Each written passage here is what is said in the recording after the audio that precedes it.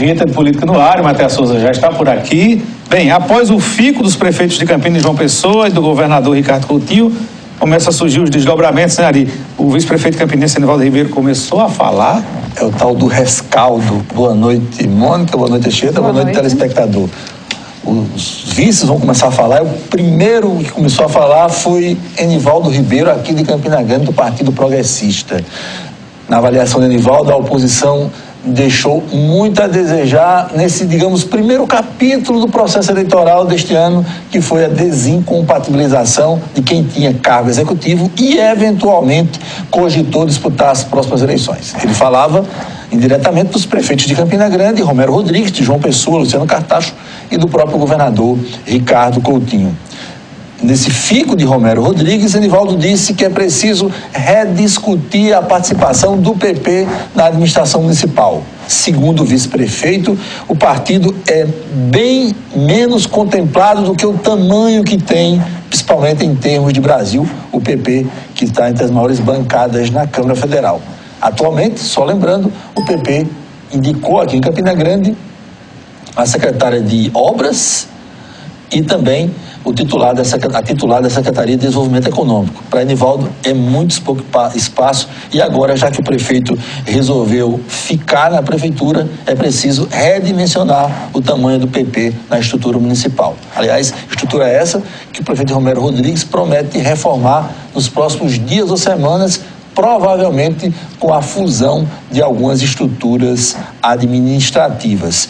E Enival também disse que a partir dessa, desse novo quadro que se forma a partir desde o último sábado, com esse, o avanço do calendário eleitoral, é, estão zeradas as conversas e tudo precisa começar novamente da estaca zero.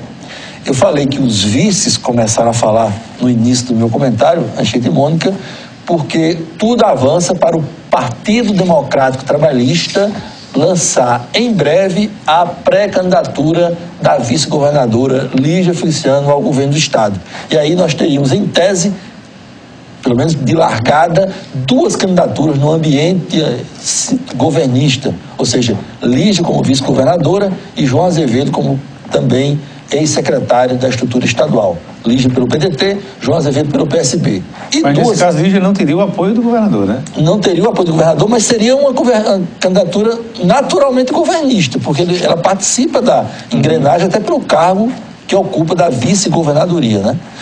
E no ambiente oposicionista, as candidaturas ou pré-candidaturas de José Maranhão e do candidato aí que vai ser indicado pela coligação puxado pelo PSDB, Lucério Cartacho ou Pedro Cunha Lima. E com relação ao senador Raimundo Lira, Ari, que se filiou há pouco tempo ao PSD, será ele o grande interlocutor do partido em termos aí da costura de coligações? Uma grande surpresa que Raimundo Lira revelou hoje. Ele disse que o deputado Rômulo Gouveia, que é o presidente estadual do PSD, delegou a ele a condução daqui por diante de todas as tratativas para a formalização das coligações visando as eleições deste ano. Essas coligações, só lembrando, elas só serão homologadas a partir das convenções previstas para a segunda quinzena do mês de julho, em termos políticos, ainda muito distante. E o dado adicional surpreendente nas declarações do senador é que ele disse que o PSD está aberto para tratar de coligações com todas as forças políticas. Ou seja, o PSD não cogita, pelo menos na visão de Lira, apenas uma coligação inevitável com o PSDB. Poderá estabelecer entendimentos, conversações, tanto com o MDB de José Maranhão, quanto com o próprio PSB do governador Ricardo Coutinho. Ari, daqui a pouco a gente não sabe mais nem quem é a oposição nessa situação nesse estado, viu? A misturada está grande, pois é.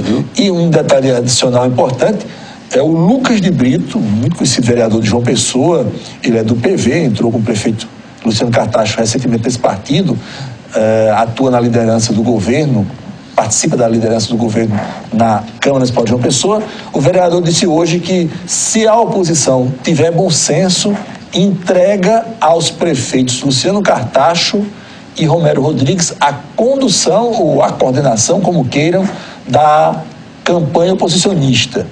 Dito de outro jeito, o que, é que o vereador quis dizer? Que Cássio Cunha Lima, Rômulo Gouveia e também Rui Carneiro devem delegar aos prefeitos a condução do processo eleitoral no âmbito das oposições. Muito bem.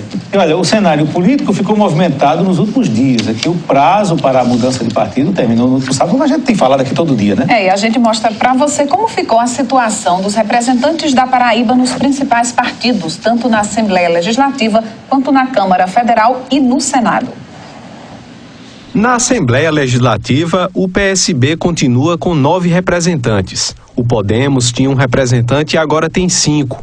No PSDB, o número de deputados caiu de quatro para três. O PP, que tinha dois representantes, agora tem três. E o MDB ficou com dois deputados, e é o partido que tem a maior queda. Já na Câmara Federal, o MDB também foi o partido que perdeu o maior número de deputados. Ele tinha três representantes, agora só tem um. O Solidariedade não tem mais representantes. Já o PROS, PRB e PSB, que não tinham representatividade, agora têm. Na bancada do Senado Federal, a única mudança foi do senador Raimundo Lira, que passou do MDB para o PSD. É um balanço que você já tinha feito aqui, né, Ari? A gente trouxe. Salta vista, o PMDB é o grande perdedor. Ele foi desidratado nessa, nessa janela partidária de 2018. No plano nacional, principalmente, mas igualmente no plano é, estadual. E além desse balanço aí, contar também o próprio senador Raimundo Lira, né, que era líder da bancada do MDB no Senado e deixou o partido para tentar viabilizar uma coligação para uh, buscar a reeleição. Exatamente, no PSD, né? Bem, hoje tem ideia livre aqui na TV Itararé. O entrevistado é o ex-deputado, advogado, analista político Gilvan Freire. O programa começa às 10h15 da noite, depois do Jornal da Cultura. Em pauta o que, Maté? Muita discussão sobre como fica uma rearrumação desse quadro político eleitoral a partir do fico das três principais lideranças já mencionadas, os dois prefeitos e o governador. Gilvan Freire também faz projeções sobre o como futuro dessa candidatura, se há viabilidade ou não na candidatura do senador José Amarelo e do próprio candidato governista João Azevedo. E o interessante dizer que hoje o Ideia Livre é depois da retransmissão do grande jogo de basquete que a TV Itararé vai mostrar de forma exclusiva Corinthians e Unifacisa, direto de São Paulo, a retransmissão, é o jogo ao vivo aqui na, na telinha da TV Itararé. Bem, o deputado estadual Trócoli Júnior recebeu alta hospitalar hoje pela manhã após se envolver em um acidente de carro na BR-230 enquanto viajava para o Cariri do Estado no último domingo. É, ele foi internado em um hospital de João Pessoa para observações. Além do parlamentar, outras três pessoas também estavam no veículo. Os passageiros tiveram apenas ferimentos leves. Trócoli não está na cota que mudou de partido não, né? Não mudou. mudou. Ele né? foi para o Podemos. Ah, é? Ela, a avalanche para o Podemos foi, foi grande, né? Muito bem. E vamos a Brasília agora saber as novidades direto da capital federal? Em Brasília, tá vendo? Um mandato tampão como é o de Michel Temer, em 29 trocas de ministro, é brincadeira, né? É, mas está a cara do Brasil nos últimos tempos. Ninguém consegue, se você fizer uma pesquisa para saber, até a gente que vive o dia a dia do noticiário tem dificuldade de saber o nome dos ministros. Imagina o povão, né? Ah, então sabe por enquanto o nome do ministro Supremo, né? É, aí pronto, que ninguém sabia antes, agora todo mundo sabe, né? Três dias quatro rápidos destaques nacionais. O primeiro deles, uma nova operação derivada da Operação Lava Jato, está sendo executada hoje, ou foi executada pela Polícia Federal, no foco a questão de pagamento de propina a políticos e um dos alvos são correligionários do senador Eunício Oliveira, que vem a ser presidente do Senado Federal e senador pelo MDB do Ceará. O Supremo Tribunal Federal marcou hoje o julgamento do senador Aécio Neves, do PSDB de Minas Gerais. Vai acontecer na próxima terça-feira por uma das turmas do Supremo Tribunal Federal. Aliás, é a turma mais, mais contundente do Supremo, ah, que não é integrada por Gilmar Mendes. É a que vai julgar o Aécio Neves, se ele vira ou não a, a condição de réu. É o inquérito que deverá ser transformado. Ele não vai ter o advogado de defesa dele lá na frente, né? E uh, a juíza é, Carolina Moura proibiu hoje a visita ao ex-presidente Lula de uma comitiva de 15 políticos, predominantemente de governadores do Nordeste. A juíza alegou que não é possível legalmente uma flexibilização do regime geral estabelecido para visitas a pessoas recolhidas à carceragem da Polícia Federal em Curitiba. Ela disse, alegou que até operacionalmente é complicado esse entra e sai de visitas ao ex-presidente Lula. Eram 15 governadores e senadores que foram é, visitar o ex-presidente Lula.